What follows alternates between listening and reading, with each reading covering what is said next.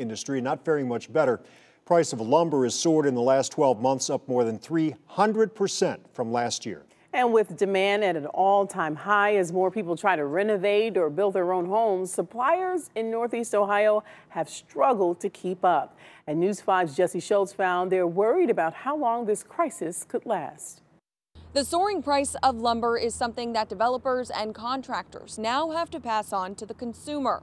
The rising prices adding $36,000 to a newly built home. That's if they can get their hands on it. When you're building a home, there are at times unforeseen obstacles to overcome. And Chad Stone, the owner of Stone's Construction and Remodeling, has made a living dealing with those obstacles. But he's never seen anything like the current lumber market. We've had over a million dollars in kitchens or additions, I'm sorry, put on hold. People are wanting to see if the pricing comes down, if it comes down to a new I don't know, more stable price. But that price is not stabilizing. Every supplier I've talked to says not only is the cost of goods and wood not going down, but continuing to go up. To put it into perspective, in May of last year, $50,000 worth of lumber could build 10 homes. This year, it can only build two. The reason? Well, it's tough to nail down. There are tons of variables that you know, I don't think anybody could necessarily predict. Like Jeff Everett with Cleveland Lumber says it's a perfect storm with tariffs on Canadian lumber, very few sawmills that can meet the demand, and a lack of truck drivers to deliver the material.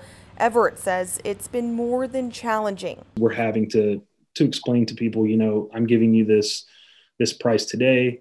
Um, you know, new new prices come out in a few days, so this could change it's a SLY type. It's a trickle down effect. Greg Platt owns Ornamental Products and Tools.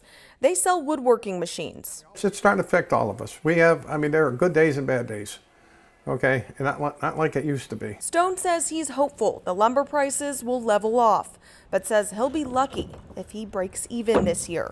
People are either going to pay more for work or they're not going to do it. And that's just the current state of construction right now. And it's sad, but that's just how it's going to be. There's going to be a lot of small businesses that are affected by this to the point of bankruptcy or out of business. The industry is now calling on the Biden administration to temporarily remove the 9% tariff on Canadian lumber to help those prices stabilize. They're also hopeful that some of the mills will come back online to ease that supply shortage.